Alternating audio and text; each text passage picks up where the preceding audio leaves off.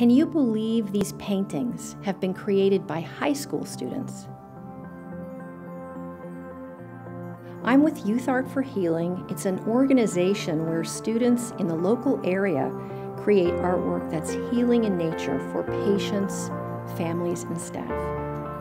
And we have kind of a special little surprise today. We do have the student artist here Oh, yeah. who would love to meet you. Oh, how nice. Would you like to meet her? Yes. Would you like to meet her? Yes. I'm Caitlin, and um, yeah, That's so your I painting. Yeah, I painted it.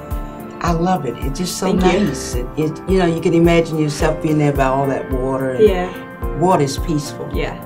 It definitely adds a nice touch to a hospital room instead of just a drab wall. Uh, it adds some life and some beauty. And that water just soothes me, you know, from my pains because I have chronic nerve damage. So stuff like that helps me, Yeah. you know, instead of taking the medicine and stuff. Make you feel, make you feel, you know, like you want to be out there with them. The reason why I chose more a more realistic style is because I wanted it to be like whoever sees it can actually feel like they're there. And even though you're not actually there, like if you're nervous here or a little bit scared, you can kind of look at it and imagine that you're somewhere else. If I had magic powers, I kind of felt like I was like putting a little bit of like peacefulness and happiness like each paint stroke.